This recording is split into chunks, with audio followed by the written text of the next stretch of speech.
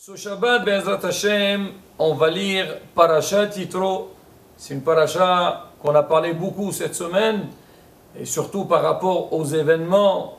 Donc, il y a eu dans la semaine Sordat Yitro, ainsi de suite.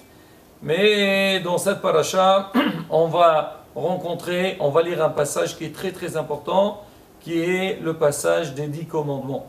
Déjà, avant de dire le Dvar Torah, alors ce lien de dix commandements, alors il y a une discussion au niveau de la halakha si on doit se lever ou pas.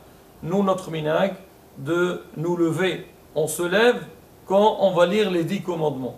Moren Arab il a écrit beaucoup sur ça, il a démontré avec beaucoup de preuves que on se lève. C'est vrai qu'il y a d'autres rabbanim, tels que Moren Arab et d'autres ils disent non, parce que si jamais on va se lever, comme si Shalom, on fait une différence entre les dix commandements et le reste de la Torah, alors que toute la Torah est pareil. Alors ceux qui disent qu'on ne se lève pas, et si quelqu'un y tient quand même à se lever, alors il donne des solutions.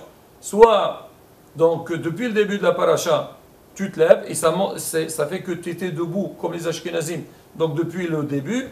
Et si tu ne peux pas te lever, tu es au milieu de la, de la, donc tu t'assois au milieu de la synagogue et tu vas, alors dans ce cas-là, alors si c'est possible de faire monter un Talmid Hacham à la montée de Aser Divrot, et normalement, quand un Talmid Hacham il monte à la Torah, mais Kavod, on se lève et on reste debout jusqu'à la fin de la montée. Comme ça, on est vraiment tranquille, à bas des Alma. Mais quoi qu'il arrive, donc selon il dit on peut se lever et c'est comme ça que ça a été toujours fait dans, dans, dans à Djerba. Mais Rabotai, comme on dit, si on peut éviter les mahlokot, et on peut faire monter un Talmid Hacham, qu'on se lève pour lui, là, c'est l'idéal. Voilà, la beauté, c'est un détail important. Mais on va revenir maintenant sur le Hanyan de Aser Tadivrot. Ah, il faut savoir que Baruch Hashem, Zachinu, et même hier, pendant la sortie d'Itro, j'ai pensé, on a parlé beaucoup, on a donné beaucoup de raisons pour ce Hanyan de la fête, mais si on réfléchit bien, nous, à Israël, cette semaine dans la paracha, on va lire à certains d'Ibrot, c'est comme si c'était le jour d'indépendance. Parce qu'on voit, même pendant la fête de Pessah, alors on dit, Pessah, c'est Hag HaHirut, c'est la fête de la liberté. Mais on dit la liberté de Ham Israël. Quand est-ce qu'on peut dire qu'elle est clôturée, qu'elle est finie? C'est seulement qu'on a reçu la Torah. Quand on a reçu la Torah, on dit ça y est, maintenant on est libre à 100%. À Pessah, c'était, comme on dit, le corps, il a été libéré, le corps a été sauvé. Maintenant, alors, mais on a besoin aussi pour la Neshama. Et comme on dit, Gouf, Belo, Neshama, donc ça n'a pas de sens. Alors, c'est pour ça, donc, Hagashavrot, c'est la vraie, on dit, indépendance de. Nous aussi, comme cette semaine, on lit les dix commandements, alors ça fait comme si c'était une fête euh, vraiment d'indépendance, et c'est pour ça, ça vaut le coup de marquer le coup et de faire une serouda et de faire la fête. Voilà Rabotai, ça c'est par rapport au Agnat des commandants. Mais on va revenir sur la paracha. On sait que pour recevoir la Torah, Moshe Rabbeinu s'est marqué, Ala Moshe Rabbeinu, le Gemara de Masech Shabbat, elle raconte comment Moshe Rabbeinu est monté au ciel pour demander la Torah et c'est marqué que les Malachim, ils se sont opposés. Ils ont dit, Akadosh Baruch Ribbono Shel Olam, Malilot Isha Benenu. Qu'est-ce qu'il fait donc un être humain parmi nous?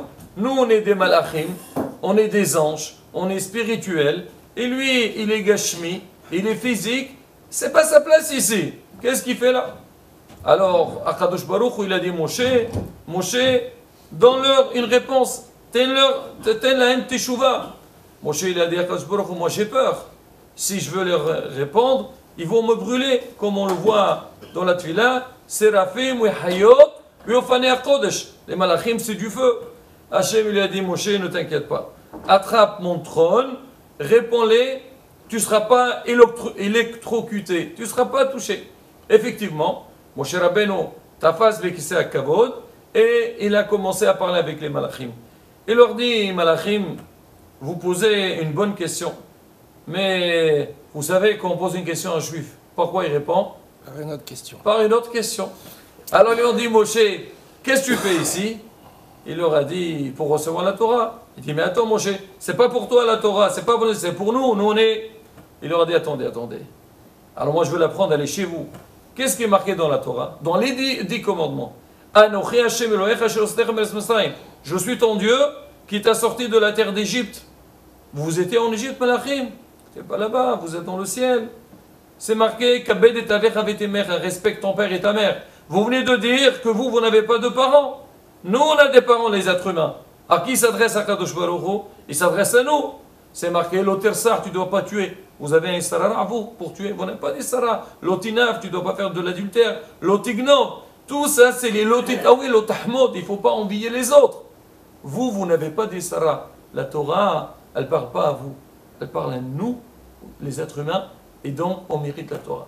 Alors les Malachim, quand ils ont entendu les réponses de Moshe Rabbeinu, ils ont dit Moshe, vas-y, prends-la. Et même, c'est marqué, ils lui ont donné des cadeaux. On dit, c'était quoi le cadeau qu'ils lui ont donné? Vous savez, c'est quoi? L'Arctoret, l'encens. Là, on a parlé de ça une fois.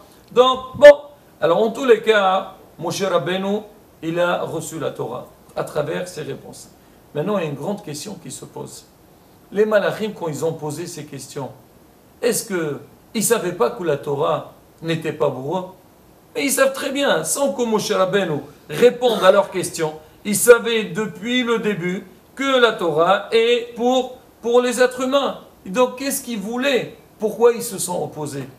Rabota, écoutez la réponse. Réponse exceptionnelle. Parce que les Malachim, ils ont voulu enseigner à Moshe Rabbeinu et tout le clan d'Israël. C'est vrai, vous allez recevoir la Torah, mais sachez que la Torah, c'est pas quelque chose de, léger, quelque chose de simple. La Torah, c'est quelque chose de très important. Elle est très chère. Ils ont dit à Hachem, la Torah, elle est cachée chez toi dans Bet Genazera, Shanim, plus euh, Dorot, 900, c'est-à-dire, euh, euh, cachée toi. Maintenant, tu vas la donner. Moshe Rabbeinu, il faut savoir, nous, on ne va pas te la donner comme ça. Malheureusement, des fois, des fois, quand tu es gentil, quelqu'un demande quelque chose, tu lui donnes. Lui croit, tu l'as donné, c'est-à-dire ce que tu lui as donné, c'est pas important, et tu te permets de faire ce que tu veux.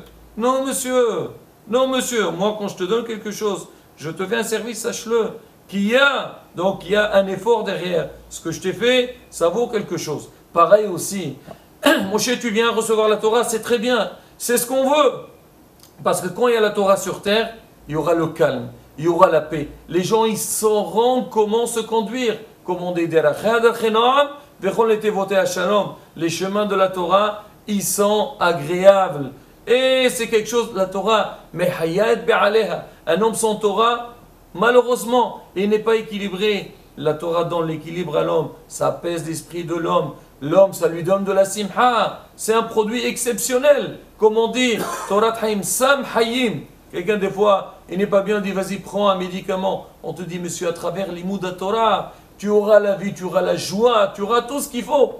Alors les malachim, alors comment chez vous, il la prendre Non, bah, allez, vas-y, prends-la, tu sais, elle est réservée pour toi, comme s'il est présent. Oui, allez-y, monsieur, prenez-la. Non, sache-le que la Torah que tu vas recevoir, on ne veut pas te la donner. C'est pas qu'on ne veut pas te la donner. Parce que la Torah, elle est très chère. Tu veux la prendre, montre-nous que tu tiens cette Torah-là. Et là, Moshe Rabbeinu, bien sûr Moshe il sait, mais que nous, l'Aram Israël, tous les ans, on va lire, donc on, va on lit la Torah, on lit les dix commandements, on a besoin de nous rappeler un petit peu ce qui s'est passé, comment on a pu recevoir la Torah. Et quand un homme, il voit la valeur, l'importance de la, de la chose, là, il apprécie plus. Et raison que Bezat Hashem, on a compris qu'on la valeur de la Torah, mais on essaye de nous investir dans Torah Mitzvot, Ma'asem Tovim, Bezat Hashem, pour aller dans la voie d'Akadosh Baruch Hu, Shinizke la Goula B'merabemenu, Amen, Shabbat, Shalom.